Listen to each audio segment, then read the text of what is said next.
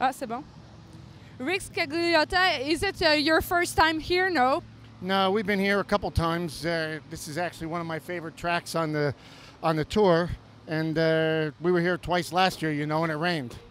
And how uh, and how is it hard to uh, adapt here? Because we know that the second turn is really uh, tricky, but then you got in the consider second place, so you will do the race tonight. So how do you adapt to here?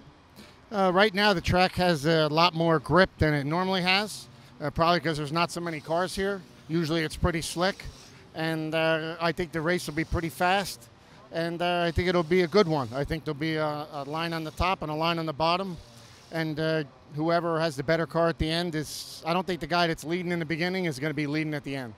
Tonight it was really important for you to do the race because you are 13 uh, in uh, in the, the standings, so you didn't have uh, the guarantee starter that uh, you you want for sure.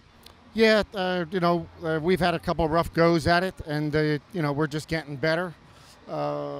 This year's been a little bit of a tough year, just in general, and you know, we try to make the best of the race. I hope to see you again at the uh, at the end of the night, wi- uh, which will uh, mean that you are one of the top three. Thank you. That would be good. Thank you. Have a good night.